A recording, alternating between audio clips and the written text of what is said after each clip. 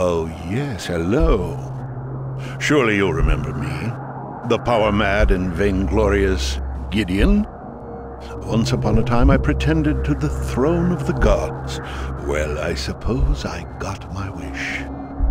My undying soul is bound to this cranial prison for all eternity, no thanks to Caleb and his chosen ones. Anyway, there's no sense being bitter about it. I imagine one day I'll serve as a muse to some unfortunate playwright who wanders this way. Until then, gentle player, I'll amuse you with this little anecdote. After defeating the Ancient One, the Chosen had a long walk home through the other world.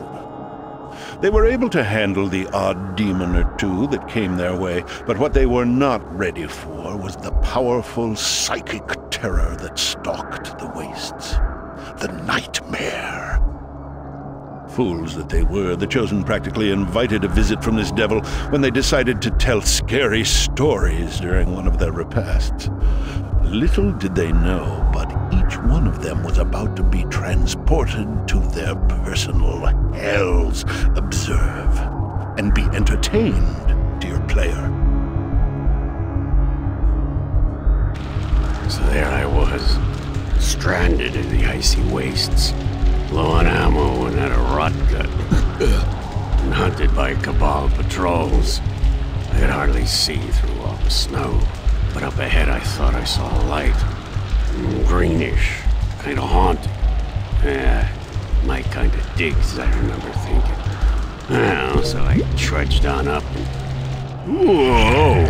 Feeling funky here, guys. He always was terrible at telling stories.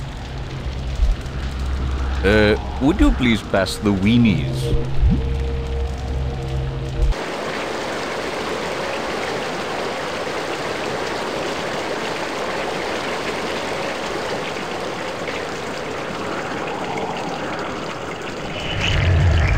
What in the hell? What is this? Some kind of freaky time warp acid trip?